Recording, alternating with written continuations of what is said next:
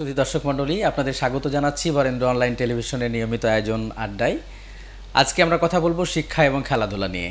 এই বিষয়ে কথা বলার জন্য আমাদের স্টুডিওতে আছেন সিদ্ধার্থ শঙ্কর সাহা, সহকারী অধ্যাপক রসায়ন বিভাগ ও উপপরিচালক ছাত্র কল্যাণ, রাজশাহী প্রকৌশল ও প্রযুক্তি বিশ্ববিদ্যালয় ডুয়েট এবং আমাদের সঙ্গে আরও একজন আছেন জনাব মোহাম্মদ শরীফুল ইসলাম, প্রভাষক ইতিহাস বিভাগ শাহ মুকদুম কলেজ রাজশাহী। স্যার, আপনাদের দুজনকেই আপনাদের আজকের অনুষ্ঠানে স্বাগত জানাচ্ছি। আমরা দীর্ঘদিন ধরে জানি এই বর্তমান সরকার ক্ষমতায় আসার পরে একটা জাতীয় শিক্ষানীতি প্রণয়ন করেছেন বা করেছিলেন। আমি স্যারের কাছে জানতে চাইব আসলে এই জাতীয় শিক্ষানীতি বাস্তবায়নের পক্ষে মানে পথে আমরা কত দূরে গিয়েছি ধন্যবাদ। প্রথমে আমি ধন্যবাদ জ্ঞাপন করছি বরেন্দ্র টিভির সকল কলা কৌশলীদের আমাকে এখানে কিছু বক্তব্য প্রদানের সুযোগ করে দেওয়ার জন্য এবং সেই সাথে ধন্যবাদ জ্ঞাপন করছি আমার সহবক্তা, ইতিহাস বিভাগের প্রভাষক সামগ্রম কলেজ। তো বস্তু তো আসলে প্রত্যেকটা দেশেরই কিন্তু একটা শিক্ষানীতি থাকে এবং একটা সুনির্দিষ্ট পরিকল্পনা ভিন্ন। আসলে নির্দিষ্ট গোল অর্জন করা কিন্তু কখনোই সম্ভব হয় না। ফলে আমাদের বর্তমান সরকার ক্ষমতায় আসার পরে একটা শিক্ষানীতি আমাদের সামনে তুলে ধরেছেন এবং এই শিক্ষানীতিতে যে সবার জন্য শিক্ষা একটা বিষয় এবং এই শিক্ষার পাশাপাশি কর্মমুখী যে শিক্ষা ব্যবস্থা, অর্থাৎ আমরা যে পাঠ্যপুস্তকগুলো পড়ি সেখানে কিন্তু কোনো ধরনের কারিগরি শিক্ষার কোনো নির্দিষ্ট কারিকুলাম সেখানে নেই। কিন্তু আমরা দেখেছি যে বর্তমান সরকার আসার পরে বিভিন্ন কর্মমুখী শিক্ষা প্রদান এবং সমবায়ের মাধ্যমে বিভিন্ন মহিলাদেরকে কর্মমুখী বা উৎপাদনমুখী শিক্ষা প্রদানের মাধ্যমে কিন্তু আমাদের প্রত্যেকটি ঘরে ঘরে আমাদের যে, আমাদের বাঙালি জাতির যে সত্তা, অর্থাৎ এই যে কুটির শিল্প এবং নানা ধরনের উৎপাদন, সেই উৎপাদনগুলো কিন্তু মূলত বৃদ্ধি পেয়েছে এবং আমরা দেখতে পাচ্ছি যে এই কর্মমুখী শিক্ষার কারণে কিন্তু দেখা যাচ্ছে যে আমাদের অর্থনীতি একটু হলেও সমৃদ্ধ হচ্ছে।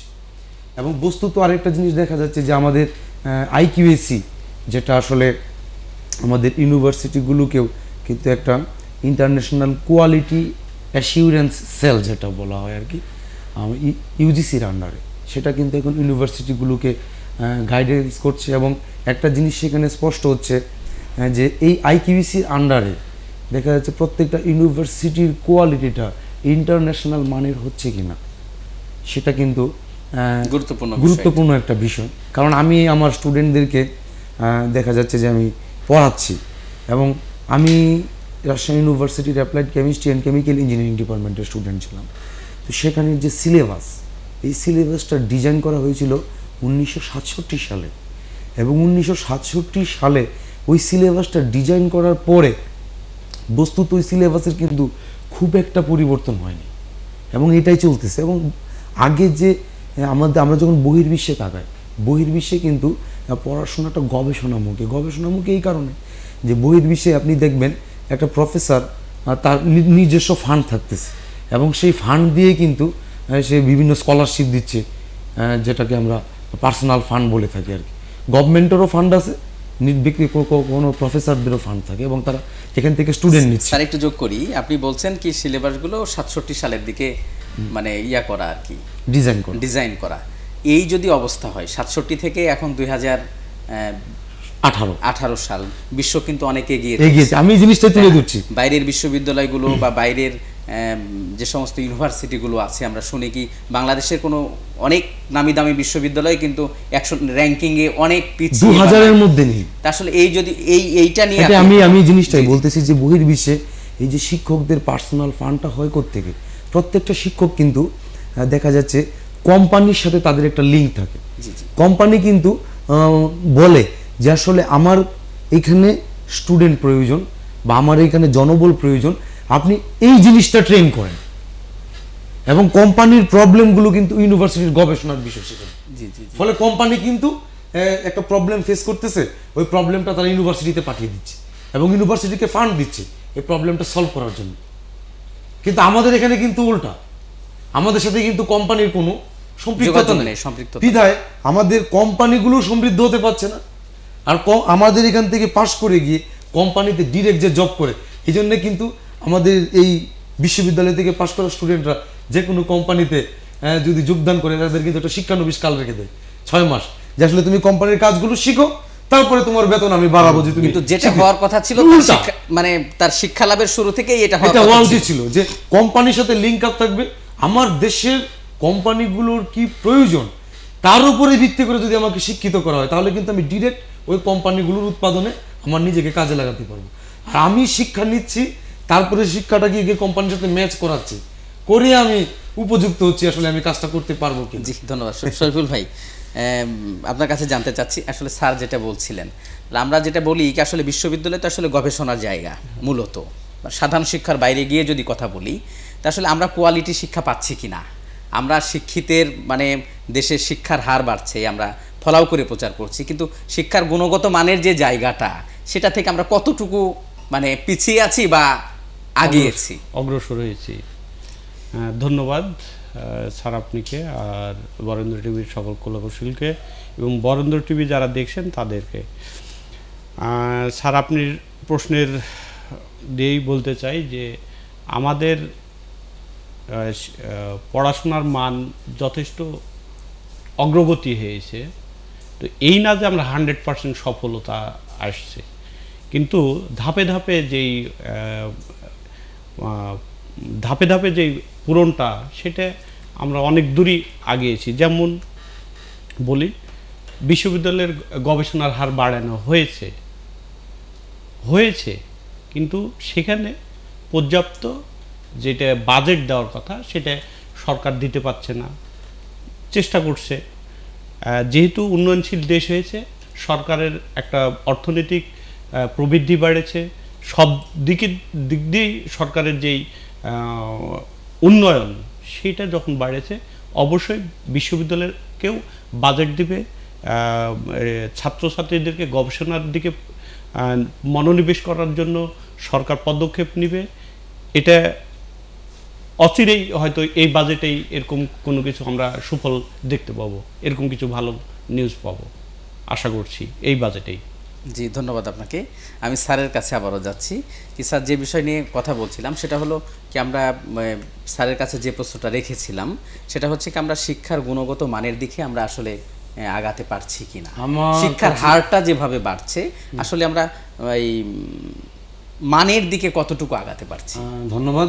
আসলে আমি যে জিনিসটা মনে করি আমার কাছে কিন্তু সবসময় কোয়ালিটি আর কোয়ান্টিটি দুইটা কিন্তু পৃথক শব্দ। আলাদা জি। আমি মনে করছি যে আমরা যে হারে পাশ দেখাচ্ছি যে হারে আমরা শিক্ষিত দেখাচ্ছি আসলে সেই হারে সঠিক শিক্ষিত মানুষ আমরা সমাজের জন্য বের করতে পারছি কিনা এটা কিন্তু একটা প্রশ্নবিদ্ধ বিষয়। কারণ আমরা দেখতেছি যে ইউনিভার্সিটিগুলোতে আমরা এডমিশন টেস্ট নেই। এডমিশন টেস্ট নেই এর গত বছরের আগের বছর আপনারা শুনে থাকবেন পত্রপত্রিকায় আসছে যে জিনিসটা ফলাও করে। যে আসলে আমরা পরীক্ষা নিয়েছি সাড়ে তিনশো মার্কের সেখানে আমরা একশো পাঁচ পাঁচ মার্ককে আমরা পাস ধরেছিলাম। সেখানে তো ভর্তি পরীক্ষা দিয়ে আমাদের একশো পাঁচ নম্বর তুলতে পারেনি ছাত্ররা অত তো সবাই গোল্ডেন অ্যাপ্লাস খুব হতাশাজনক। হতাশাজনক এবং আপনারা এই বছরও ভর্তি পরীক্ষা রাজশাহী বিশ্ববিদ্যালয়ে ইংরেজি বিভাগে কিন্তু মাত্র আটজন পাশ করেছে। অথচ সবাই গোল্ডেন Golden. তো এই যে বিষয়টা যে কোয়ালিটি সম্পন্ন ছাত্রের প্রয়োজন কোয়ান্টিটিটা প্রয়োজন নয়। কোয়ান্টিটি আমরা তৈরি করব একটা নির্দিষ্ট সময় পর্যন্ত যেটা গণশিক্ষা। কিন্তু উচ্চশিক্ষার ক্ষেত্রে আমাকে কিন্তু কোয়ালিটি মেনটেন করতে হবে। আমেরিকা ইংল্যান্ড আমরা তাদেরকে হান্ড্রেড পার্সেন্ট শিক্ষিতের দেশ বলে থাকি। কিন্তু আপনি এটা বিষয়টা জেনে অবাক হয়ে যাবেন। তারা কিন্তু স্কুল কলেজ শিক্ষার পরে হায়ার এডুকেশনে অনেক যায় না এবং এই কারণে তাদের যে বাজেটের উদ্বুত্ত অংশ তারা কিন্তু বিভিন্ন দেশ থেকে স্কলারদের স্কলারশিপ দিয়ে তাদের দেশে নিয়ে যায়। তাহলে তারা কিন্তু একটা নির্দিষ্ট লেভেল পর্যন্ত শিক্ষার পরে তারা কিন্তু শিক্ষা ত্যাগ করে তারা কিন্তু কর্মসংস্থানের দিকে দাবি করে মানে উচ্চ শিক্ষা যে সবার সবার জন্য নেই। এটা। উচ্চ শিক্ষার দরকার নেই। উচ্চ শিক্ষার জন্য কোয়ালিটি দরকার।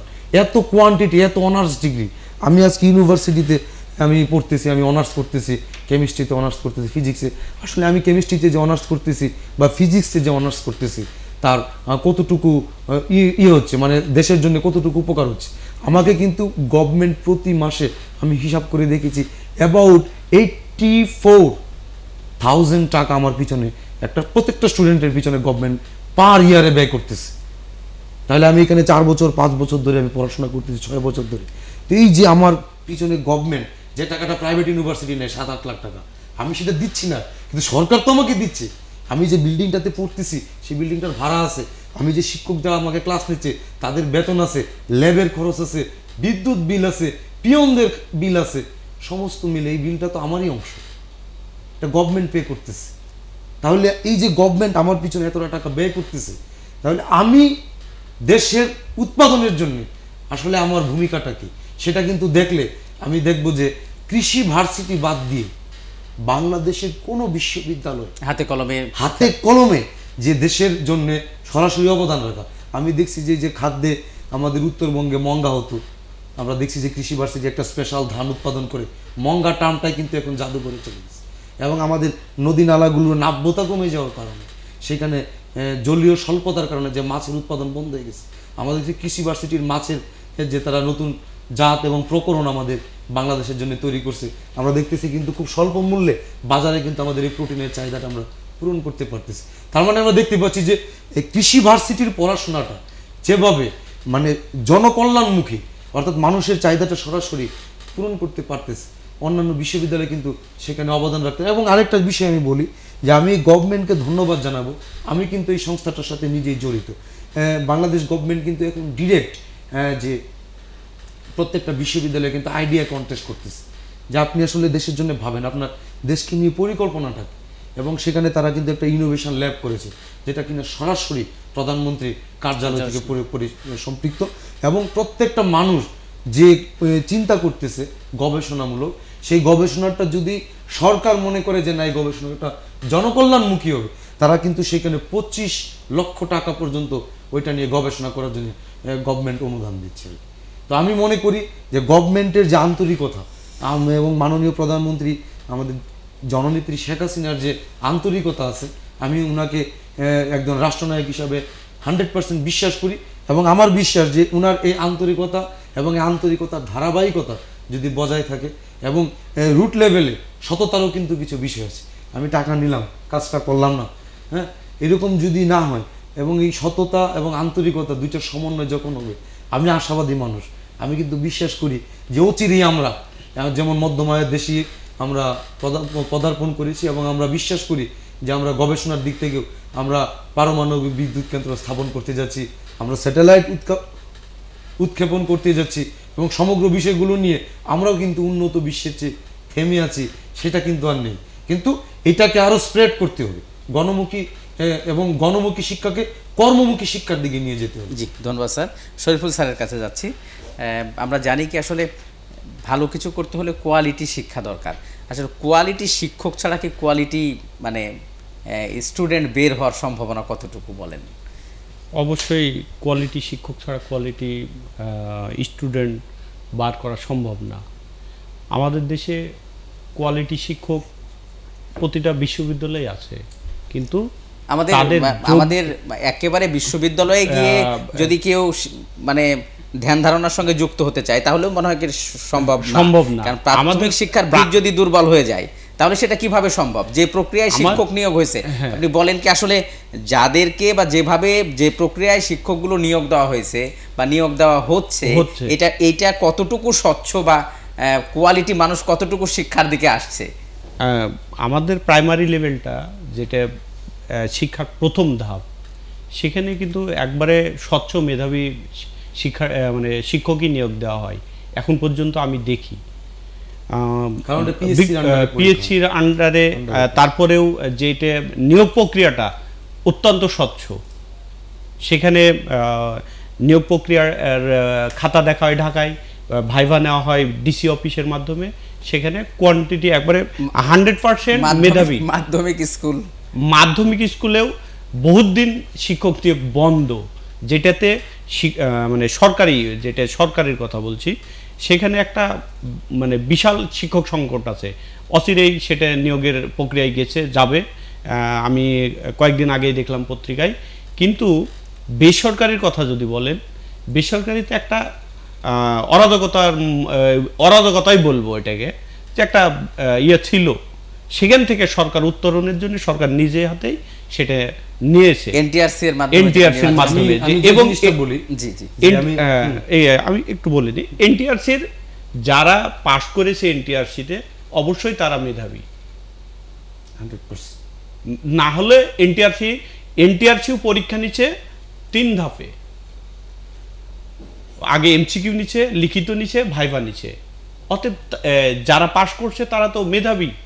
এবং এই মেধাবী শিক্ষক যারা তাদেরকে নিয়োগ দিলে এবং তাদেরকে একটা প্রশিক্ষণ যদি সঠিকভাবে দেওয়া যায় তারা সঠিক এবং ভালো ছাত্রই আহ, উপহার দিবে এনটিআরসি তো। সহকারী শিক্ষক নিয়োগের ব্যবস্থা করেছে কিন্তু এর মধ্যেও দুইটা বিষয় আবার রেখে দিয়েছে এক হচ্ছে সহকারী প্রধান শিক্ষক মাধ্যমিক স্কুলগুলোতে মানে বেসরকারি মাধ্যমিক স্কুলগুলোর সহকারী শিক্ষক নিয়োগ দিচ্ছে এনটিআরসি কিন্তু সহকারী প্রধান শিক্ষক এবং প্রধান শিক্ষক তৃতীয় চতুর্থ শ্রেণির কর্মচারী এগুলো কিন্তু আবার এই লোকাল মানে গভর্নিং বডির ওপরেই কিন্তু থেকে গেছে বা ম্যানেজিং কমিটির ওপরেই থেকে গেছে। আচ্ছা এখানে আমি একটা জিনিস অ্যাড করে দিই।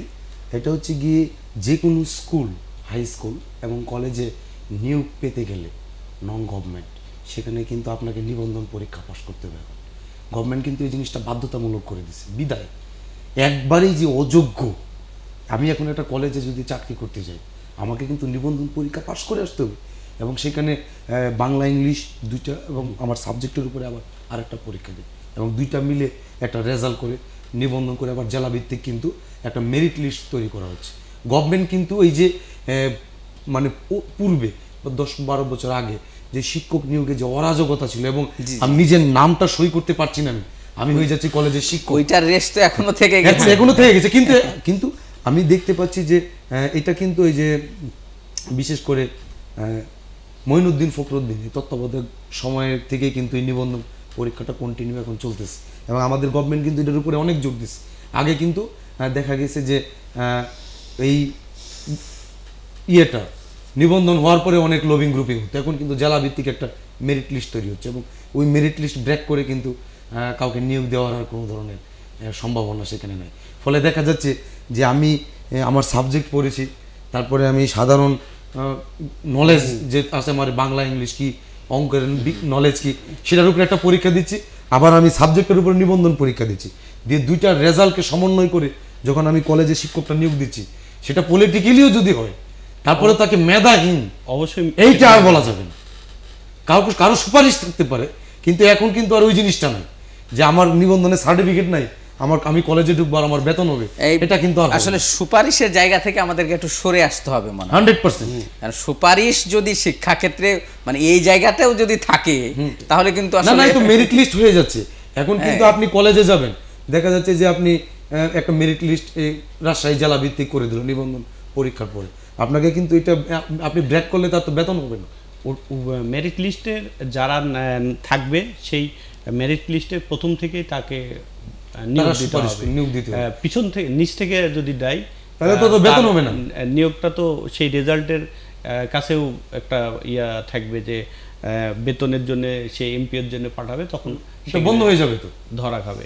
অতএব একটা পর্যায়ে গেছে এ সরকার একটা পর্যায়ে যেতে সক্ষম হয়েছে যে সঠিক এবং মেধাবী শিক্ষক তৈরি করার জন্য। এবং এই শিক্ষকদেরকে সঠিকভাবে একটু যদি নিয়োগের পরে আবার এদেরকে একটু প্রশিক্ষণ দেওয়ানো যায় তাহলে কোয়ালিটি মেধাবী শিক্ষার্থী ভালো শিক্ষার্থী বার করতে কোনো বেগ পেতে হবে না।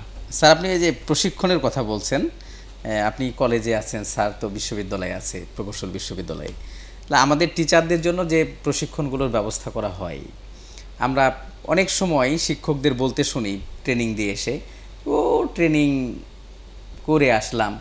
ট্রেনিংয়ের যে প্রশিক্ষণ এসে যে যেটা শিখে এসে যেটা প্রয়োগ করা দরকার শিক্ষকদের জন্য হয়তো বিএডের ব্যবস্থা আছে এম এড আছে স্যার আপনাদের জন্য হয়তো আরও বেশি কিছু আছে নিজেদের আত্ম উন্নয়নের জন্য। কিন্তু এগুলোর প্রয়োগ কিন্তু এসে ক্লাসরুমে কিন্তু হচ্ছে একটা হয় না।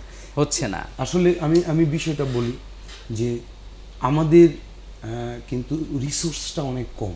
আমরা কিন্তু আস্তে আস্তে একটা আমাদের মুক্তিযুদ্ধের পরে বিশেষ করে পঁচাত্তরের পরে আমাদের যে একটা ভগ্ন অবস্থা তৈরি হয়েছিল দেশে এবং ইতিহাস বিমুখ করে দেওয়া মানুষকে। আমি যদি আমার নিজের ইতিহাসকে না জানি আমার ভিতরে কিন্তু দেশপ্রেম তৈরি হবে না। আপনি কিন্তু ভারতে ঢুকলে দেখবেন প্রত্যেকটা ট্রাকের গায়ে লেখা India is great India is great প্রত্যেকটা বাসের গায়ে লেখা ইন্ডিয়া ইজ গ্রেট একটা ছোট্ট সিএনজি যাচ্ছে, তার গায়ের মধ্যে লেখা থাকে ইন্ডিয়া ইজ গ্রেট কিন্তু আমরা কিন্তু ওই যে, আমার বাংলাদেশ মহান, আমার বাংলাদেশ মহান, এই বিষয়টা কিন্তু আমরা গণভাবে তৈরি করতে পারেন। তো বিষয়টা হচ্ছে যে, আমাদের এই যে ট্রেনিং আমাদের যে অর্থনীতির ভগ্ন অবস্থা থেকে আমরা উঠে দাঁড়াচ্ছি, প্রত্যেকটা স্কুল, কলেজে আমি যদি আমার ট্রেনিংটাকে সঠিকভাবে কাজে লাগাতে চাই বাংলাদেশ গভর্নমেন্ট কিন্তু একটা ইয়ে নিছে যে প্রত্যেকটা স্কুলে যেন এখন ল্যাপটপ থাকে প্রজেক্টর থাকে প্রত্যেকটা স্কুলে। স্কুলে আছে এবং এগুলো আসলে দেওয়ার চেষ্টা করতেছে এবং এই জিনিসগুলো যখন হান্ড্রেড পার্সেন্ট হয়ে যাবে স্কুল কলেজগুলোতে তখন কিন্তু অনেক দেখা যাচ্ছে যে যে- বিষয়গুলো আমরা আসলে আমি যখন ইয়ে করি যে একটা অ্যানিমে অ্যানিমেশন দিয়ে কোনো কিছুকে বোঝানো তখন কিন্তু এটা বাচ্চারা সহজেই বুঝতে পারে ধন্যবাদ স্যার। শরীফুল স্যারের কাছে যাচ্ছি আমি। স্যার আমরা জানি কি বর্তমান সরকার ক্ষমতায় আসার পরে প্রত্যেকটা শিক্ষা প্রতিষ্ঠানকে এই ডিজিটাইজেশনের মানে ইয়াতে নিয়ে যাওয়ার জন্য বা শিক্ষার্থীদের আধুনিক শিক্ষার সাথে সম্পৃক্ত রাখার জন্য বা এই যে কম্পিউটারের বিষয়ে দক্ষতা বাড়ানোর জন্য অনেক উদ্যোগ হাতে নিয়েছে। তার মধ্যে উল্লেখযোগ্য হলো কি দেশের এমন কোনো শিক্ষা প্রতিষ্ঠান নাই কি যেখানে দশটা কম্পিউটার পাওয়া যাবে না। বা কম্পিউটার ল্যাব পাওয়া যাবে না এরকম প্রতিষ্ঠান কিন্তু নাই। কিন্তু আসলে এই যে এই ল্যাবগুলো দেওয়ার পরে বা কম্পিউটারগুলো দেওয়ার পরে এগুলো আসলে ব্যবহার হচ্ছে কি না? এটার জন্য মনিটরিং মনে হয় খুব বেশি হয় কি না? আপনার কাছে এটা জানতে চাইব। শিক্ষকরা আসলে এই এগুলো ডিজিটাল কন্টেন্ট ব্যবহার করে ক্লাস নেওয়া অথবা মাল্টিমিডিয়ায় ক্লাস নিয়ে ক্লাসগুলোকে আরও সহজ করার কতটুকু করছে এটা আপনার কাছে জানতে চাই এটি একবারে সত্যি কথা যে প্রতিটা শিক্ষা প্রতিষ্ঠানেই ল্যাব করে দিয়েছে এবং অত্যাধুনিক ল্যাব করে দেওয়া হয়েছে। এবং সেগুলো ব্যবহারের জন্য যে প্রশিক্ষিত আমাদের কম্পিউটারের শিক্ষক দরকার সেটাই নাই। কেউ ম্যানেজমেন্ট থেকে অনার্স মাস্টার্স করছে করে ডিপ্লোমা করেছে কম্পিউটারে। হ্যাঁ, নিবন্ধন করেছে কম্পিউটারে। নিবন্ধন করে কম্পিউটারে করে সে শিক্ষক হিসেবে কম্পিউটারের শিক্ষক হিসেবে যোগদান করেছে। সে ওই ল্যাবের কি বুঝবে? এটা তো একটা বিষয়। যারা এই যে রুয়েটে, বুয়েটে কম্পিউটারের উপরে পড়াশোনা করেও মানে কম্পিউটার যারা ভালোভাবে আয়ত্ত করছে, তারা ভালো পারে। আর যারা মানে নর্মালি করছে, তারাও কিছুটা হিমশিম খায়। কিন্তু যারা ডিপ্লোমা করেছে, তাদেরকে দিয়ে ওই ল্যাব চালানো কীভাবে সম্ভব? তারপরেও বারবার এই সরকার তাদেরকে আবারও নতুন করে প্রশিক্ষিত করার জন্য আবারও নিয়ে যাচ্ছে করছে কিন্তু তাদেরই অজ্ঞতা। যে সরকার বারবার উদ্যোগ নিচ্ছে কিন্তু কাছে ওইসব শিক্ষকেরই অজ্ঞতা। ধন্যবাদ স্যার। স্যারের কাছে একটা নতুন বিষয় নিয়ে জানব। সেটা হচ্ছে আমরা জানি কি পড়াশোনার পাশাপাশি শিক্ষার্থীদের মন মেধা এগুলো আরও শানিত করার জন্য বা ভালো রাখার জন্য খেলাধুলার বিকল্প নেই। আসলে আপনার বিশ্ববিদ্যালয়ে খেলাধুলার চর্চা করার কতটুকু সুযোগ আছে একটা শিক্ষার্থীর জন্য? আমি যে জিনিসটা বলি আসলে প্রত্যেকটা বিশ্ববিদ্যালয়ে কিন্তু বিশেষ করে খেলার মাঠ এবং এই ফেসিলিটিসগুলো থাকা উচিত। এটা আসলে এরকম যে মানুষ তার শরীরের অঙ্গ প্রত্যঙ্গকে যত বেশি জোরে নাড়াচড়া করবে, সেই সকল অঙ্গ প্রত্যঙ্গের ব্লাড সার্কুলেশন বাড়বে। কারণ দ্রুত সেখানে শক্তি উৎপন্ন হতে হবে এবং শক্তি উৎপন্ন হলে কার্বন ডাইঅক্সাইড তৈরি হবে এবং কার্বন ডাইঅক্সাইডটাকে পরিবহন করার জন্য কিন্তু রক্তের সার্কুলেশনও সেখানে বেড়ে যাবে। তো বিষয়টা হচ্ছে আমাদের মস্তিষ্কের মধ্যে রক্ত সার্কুলেশনটা যত বেশি হবে, আমাদের মস্তিষ্ক কিন্তু তত বেশি উর্বর হবে এবং মানে মননশীল হবে। তো এই জন্যে আমার মনে হয় যে যেখানে আসলে শিক্ষা প্রতিষ্ঠানে একটা বিল্ডিংয়ের মধ্যে বিশ্ববিদ্যালয়, আমার অমুক বিশ্ববিদ্যালয়, আসলে একটা বিল্ডিং সেখানে আসলে খেলাধুলা করার কোনো পর্যাপ্ত স্পেস নাই বা এ নাই, সেখানে কিন্তু আসলে শক্তিশালী, মননশীল মানুষ তৈরি করা খুব কঠিন হবে। সেই জন্য আমি মনে করি যে প্রত্যেকটা বিশ্ববিদ্যালয় এবং আমার প্রকৌশল বিশ্ববিদ্যালয়ে কিন্তু আমাদের বিভিন্ন ক্লাবগুলো আছে, ক্রিকেট ক্লাব, ফুটবল ক্লাব তারপরে ওরা টেনিস খেলতেছে এবং প্রত্যেকটা প্লেগ্রাউন্ড কিন্তু আমরা তাদেরকে তৈরি করে দিই। এবং তারা এগুলো খেলতেছে এবং যে আন্তঃ বিশ্ববিদ্যালয় প্রতিযোগিতা হচ্ছে সেখানে কিন্তু অন্তপক্ষে যে গভর্নমেন্ট ইউনিভার্সিটিগুলো আছে, তাদের কিন্তু খেলার মাঠগুলো পর্যাপ্ত আছে এবং প্রতিদিন সেখানে খেলাধুলা হয় কিন্তু মাঠে। কিন্তু যেগুলো নন গভর্নমেন্ট ইউনিভার্সিটি যেগুলো আছে প্রাইভেট তাদের কিন্তু ম্যাক্সিমামগুলোরই একটা নির্দিষ্ট প্লেগ্রাউন্ড থাকে না। আর একটা প্লেগ্রাউন্ড ছাড়া এটা ইউনিভার্সিটি কীভাবে হয়? আসলে মানুষের, আমি একটা, আমি পড়তেছি আমি পড়তেছি, আমি আমি খুব ভালো, আমি পড়তেছি। একদিন, দুই দিন, দশ দিন দশ দিন পরে আমার কিন্তু একটু বিনোদনের প্রয়োজন। সেখানে সাংস্কৃতিক চর্চা থাকতে হবে। না হলে তো আমার পড়াশোনাটা আমার ভিতরে একটা, আমার ভিতরটাকে আরও রুক্ষ করে দেবে। আমি কিন্তু এই যে জঙ্গিবাদের উত্থান, এই যে বিভিন্ন ধরনের আমরা অপকর্ম দেখতে পাই এবং মাদকাসক্তির দিকে ধাবিত হওয়া। এগুলা কিন্তু আসলে সঠিক খেলাধুলার উপকরণ না থাকার কোপর সঠিক সাংস্কৃতিক চর্চা না থাকার কোপর আসলে পড়তে পড়তে মানুষের কিন্তু মস্তিষ্কের মধ্যে একসময় একটা দেখা যাচ্ছে চাপ তৈরি হয় যে আমি কি করছি কি করছি। তারপরে দেখুন সেই চাপটা থেকে উত্তরণ হতে পারে না। তখন হয় সে মাদকের দিকে ঝুঁকে পড়তেছে, না হলে সে জঙ্গিবাদের দিকে ঝুঁকে পড়তেছে।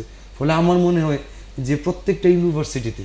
আজ যেমন আমি আমাদের রুয়েটে এইবারে প্রশ্ন আসছে আমাদের যে আমাদের তো লাইব্রেরিতে সব ইঞ্জিনিয়ারিংয়ের বই। তাহলে একটা মানুষের শুধু ইঞ্জিনিয়ারিং হবে?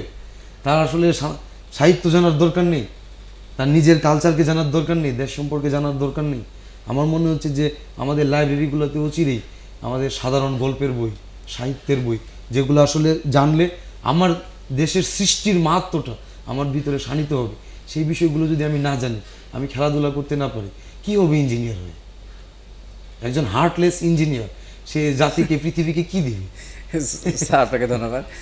শরীফুল স্যার, আপনার কাছে জানতে চাচ্ছি, সেটা হচ্ছে আমরা শিক্ষার্থীদেরকে, আমাদের শিক্ষকরা যতটুকু ফলাফল ভালো করার কথা বলেন, আমরা পাশাপাশি মানে একাডেমিক শিক্ষার অর্জনের কথা বলেন, পাশাপাশি কিন্তু একজন শিক্ষার্থীকে আমরা তার খেলাধুলার বিষয়ে ততটা কিন্তু উৎসাহিত করি না।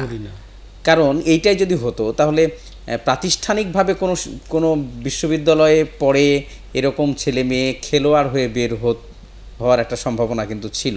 কিন্তু কলেজ বিশ্ববিদ্যালয়গুলোতে যে গেমগুলো হয় এগুলো ইনডোর গেম ওই বালিশ খেলা টাইপ হ্যাঁ। খেলাধুলা অথবা চেয়ার খেলা একটু বিস্কুট দৌড় এগুলো। এর বাইরে মাঠে নিয়ে গিয়ে অথবা স্কুল বা প্রতিষ্ঠানের মাঠ ব্যবহার করে খেলাধুলার সুযোগ কতটুকু?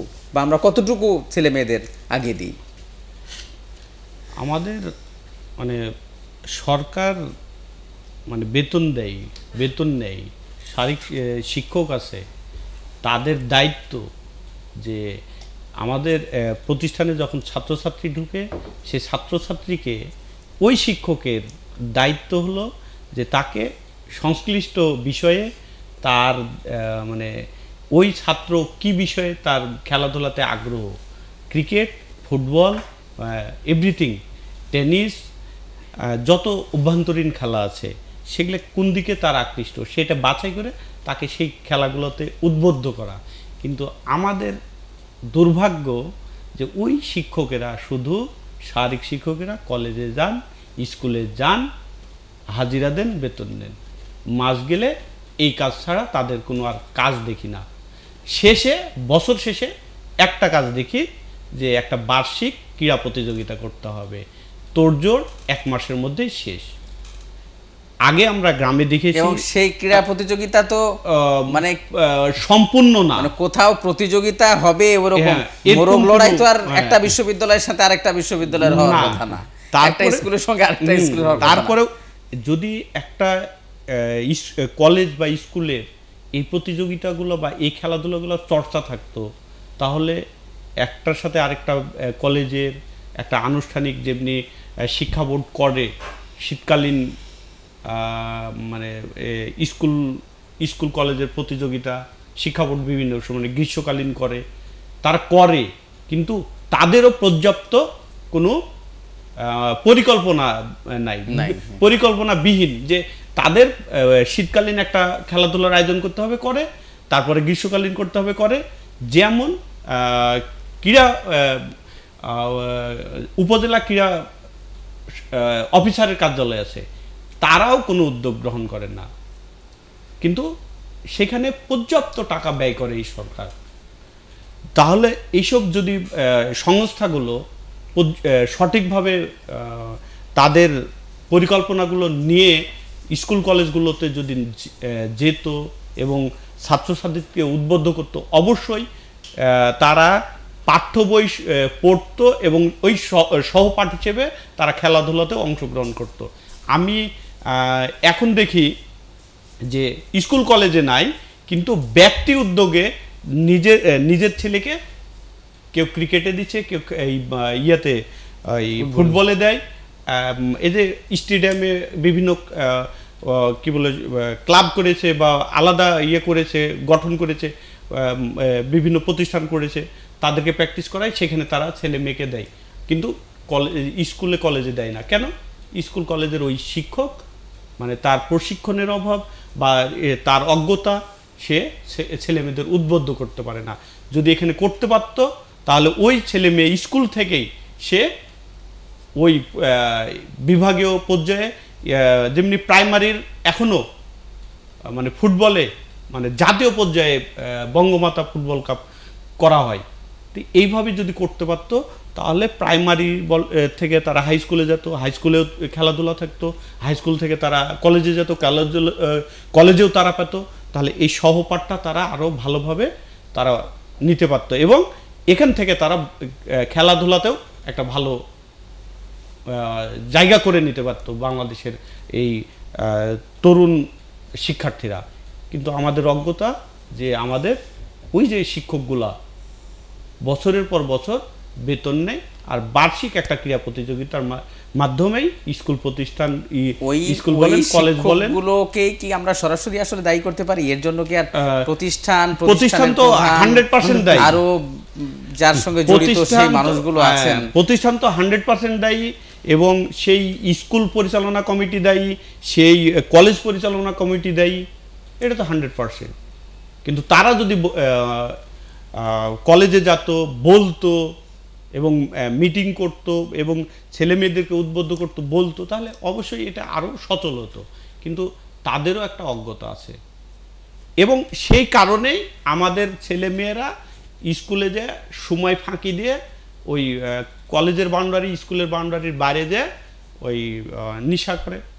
মাদকদ্রব্য জড়িয়ে পড়ে।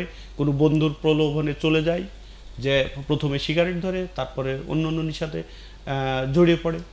সমাজের অপকর্ম যত তৈরি হয়েছে, এই যে আমরা ছেলে মেয়েদেরকে বিমুখ অবস্থায় রেখেছি, খেলাধুলাতে না নিয়ে যে সাংস্কৃতিক জগতে না নিয়ে যে, অন্য জগতে তারা চলে যেছে নিজেরাই চলে যেছে আমাদেরকে আর ঠেলে দিতে হচ্ছে না।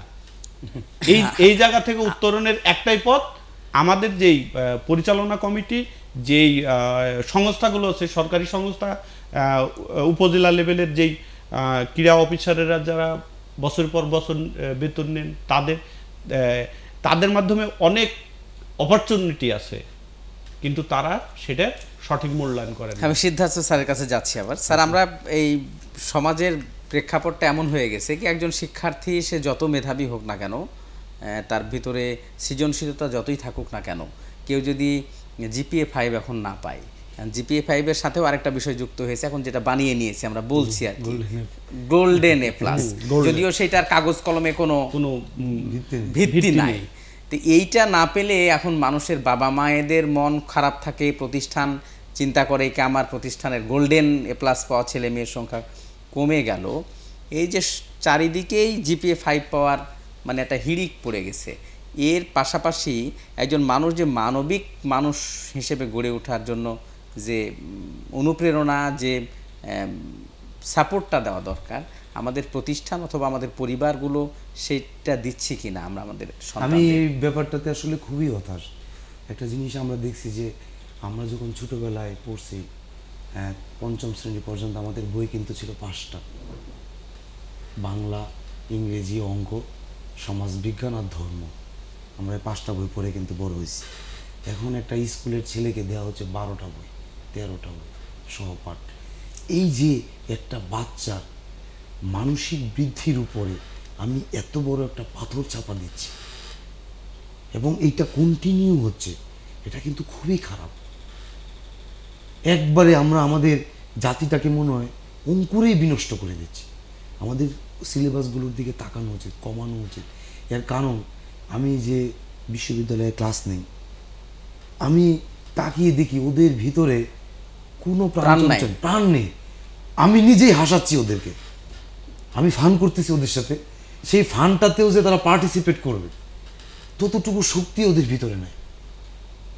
একটা ভয়াবহ অবস্থাকে আমি কিন্তু এটা ফিল করি। আমিও কিন্তু একসময় ওই টেবিলটাতে বসেছিলাম। আমার ভিতরটা আর ওর ভিতরটাকে যখন আমি তুলনা করি তখন আমি দেখতে পাই এই যে একটা জুজুর ভয় গোল্ডেন এ প্লাসের ভয়। এটা দিয়ে আসলে কিন্তু বাচ্চাদেরকে একবারে নষ্ট করে দেওয়া হচ্ছে। আমার মনে হয় যে বিশ্ববিদ্যালয়গুলো আমরা ভর্তি পরীক্ষা নিই। এটাও ঠিক না। আমি প্রথমেই একটা কন্ডিশন দিয়ে দিচ্ছি আমার রুয়েটে আপনি ভর্তি পরীক্ষা দিতে চাইলে আপনার জিপিএ এত লাগবে। হোয়াই যার জিপিএ কম সে কি তার টেকনিক্যাল মেরিট কম হবে? এটা আপনি কীভাবে বলতে পারেন? স্যার এর সঙ্গে একটা বিষয় মানে আপনাকে স্মরণ করিয়ে দিতে চাই। বাংলাদেশ থেকে এইবার দুই হাজার সতেরো সালে দুইটা ছেলে মেয়ে হারভার্ডে পড়ার সুযোগ পেয়েছে। একটা হচ্ছে কুষ্টিয়ার অজপাড়া গাঁয়ের ছেলে তারিক আদনান মুন ও এমআইটি সহ সারা পৃথিবীর চোদ্দোটা বিশ্ববিদ্যালয়ে কুষ্টিয়ার আর ঈশ্বরদীর একটা মেয়েকে তারা চোদ্দোটা বিশ্ববিদ্যালয় বলেছিল কি তোমরা আমার বিশ্ববিদ্যালয়ে ভর্তি হও। ওরা গণিত উৎসবে, আন্তর্জাতিক উৎসবে গিয়ে একটা সফলতা নিয়ে এসছে আর কি। তো ওদের এই বাংলাদেশের দুইজন ছেলে মেয়ে যারা চান্স পেয়েছে, হারভার্ডে পড়ছে এখন, তারিক আদনান আর নাজিয়া নুজহাত সম্ভবত দুইজন মেয়ে, এদের জিপিএ ফাইভ নাই। আমি তো সেটাই বলতেছি আমি গোল্ডেন এ প্লাস পাইনি, তার অর্থ কিন্তু কখনোই এটা মিন করে না। যে আমার টেকনিক্যাল যে ব্রেইন সেটা কম আছে। ফলে এই যে আমি আমি কিন্তু এই ভর্তি পরীক্ষাগুলোকে উন্মুক্ত করে দিতে আমি সবসময় এটা, আমি জাফর ইকবাল স্যার এই কতগুলো বিষয়কে আমি খুব শ্রদ্ধা করি। এবং একটা বিশ্ববিদ্যালয়ের যেরকম যেমন বিসিএস পরীক্ষা হচ্ছে, রাজশাহী হচ্ছে, ঢাকাতে হচ্ছে, আমার বিশ্ববিদ্যালয়ের ভর্তি পরীক্ষাটা হয় যে এরকম ইন্ডিয়াতে কিন্তু ইন্টার পাশের পরে জয়েন্ট হয়। তারা জয়েন্ট পরীক্ষা দিচ্ছে এবং সেখান থেকে মেরিট লিস্ট তৈরি হচ্ছে। কে কোথায় যাবে না যাবে। আমার মনে হয় সবাইকে সুযোগ দেওয়া উচিত। আমি একটা ছেলে আজকে জিপিএ আমার শরীর অসুস্থ থাকতে পারে। আমি কোনো একটা পরীক্ষা খারাপ করে ফেলতে পারি ইন্টারমিডিয়েট এক মাস ধরে পরীক্ষা জিপিএ ফাইভ তো যে কোনো উপায় পাওয়া যেতে পারে। এখন এই এই যে আমি এই যে বিগত কয়েকটা বছর ধরে সবচেয়ে দুঃখের বিষয় আমি বলি যে বিগত এই বছরটা তো মোটামুটি ভালোভাবে ইন্টার পরীক্ষা শেষ গত বছরটা মোটামুটি ভালো। তারপর আগের তিনটা বছর। আমরা কিন্তু দেখছি যে গণযোগাযোগ মাধ্যমে কীভাবে কোয়েশ্চেনের ছড়াছড়ি ছিল এখন এই যে ছেলে পেলেগুলা কোয়েশ্চেন আউট হওয়ার পরে তারা জিপিএ ফাইভ পেয়ে এসে ইউনিভার্সিটিতে ভর্তি হচ্ছে। আমার তো ভালো ছেলেটা পরীক্ষা দিতে পারল।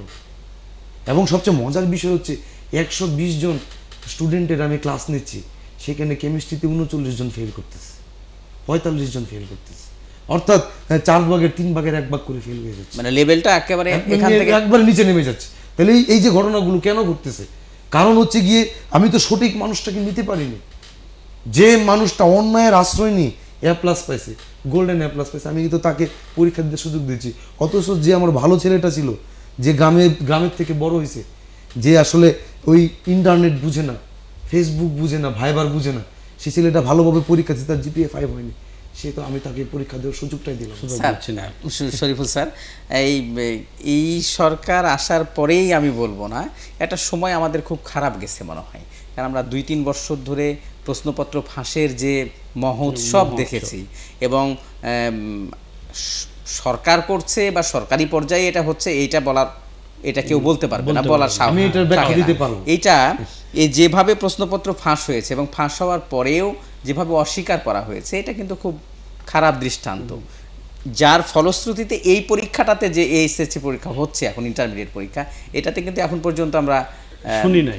শুনে নাই। কিন্তু এর আগের যে প্রজন্মটা বের হলো যারা সেই প্রশ্নপত্র ফাঁস নিয়ে পরীক্ষা দিয়ে যে ফলাফল করবে স্যার যেটা বলছিলেন কি ওই বিশ্ব বিশ্ববিদ্যালয়ে ভর্তি হতে গেলে আমরা আগেই বলে দিচ্ছি কি জিপিএ ফাইভ ছাড়া হবে না। আসলে সরকার এই বিষয়গুলো কেন বরাবরই মতো উপেক্ষা করে গেছে আর কি অবহেলা করে গেছে কেন? আমি একটা বিষয়ে তুলনা করতে চাই এ বিষয়টার সাথে। যেমনি কয়েকদিন আগে কোটা বিরোধী আন্দোলন হলো কোটা বিরোধী আন্দোলনে প্রথম যেই স্পর্শকাতর বা যেই বিষয়টাকে তারা আঘাত করেছে সেটা হলো মুক্তিযোদ্ধা কোটা মানে মহান মুক্তিযুদ্ধে যাদের অবদান আছে তাদের কোটাকে আগে বাতিল করতে হবে। অন্যান্য কোটা ছিল সেগুলোকে তারা মানে তুলে আনেনি। তাহলে এই প্রজন্ম তারা কোথায় থেকে আসছে? অনুরূপ তারা মুক্তিযুদ্ধ সম্পর্কে বা বাংলাদেশের মুক্তিযুদ্ধ হয়েছে বাংলাদেশের একসময় এই মহান মুক্তিযুদ্ধে কারা নেতৃত্ব দিয়েছে এটা তাদের অজ্ঞতা ছিল তারা এটা জানে না। ওই প্রজন্মটাই বিশ্ববিদ্যালয়ে গেছে। ওইটাই ওইটাই হচ্ছে তেরো চোদ্দ পনেরো। ওই ওই ওই আউট করার ওই কোশ্চেন আউটের এই স্টুডেন্ট এই স্টুডেন্ট আজ মেধাবী বলে নিজেরাকে নিজেদেরকে দাবি করছে। এরাই কিন্তু এখন নেতৃত্ব দিচ্ছে। কারণ এরাই কিন্তু তেরো চোদ্দ পনেরোতে ইন্টার পাস করে আসছে। এখানে এখানে বাস্তব। তাদের উচিত ছিল যে কোটা আছে মহিলা কোটা আছে জেলা কোটা আছে অন্যান্য কোটা আছে কোটাকে সংস্কার করে নিচে নামিয়ে আনার। কিন্তু তারা প্রথমেই আঘাত করেছে মুক্তিযোদ্ধাদের।